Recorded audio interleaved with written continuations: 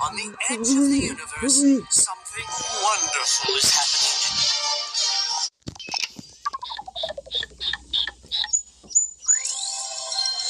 What could be inside? Subscribe to Budge World and find out.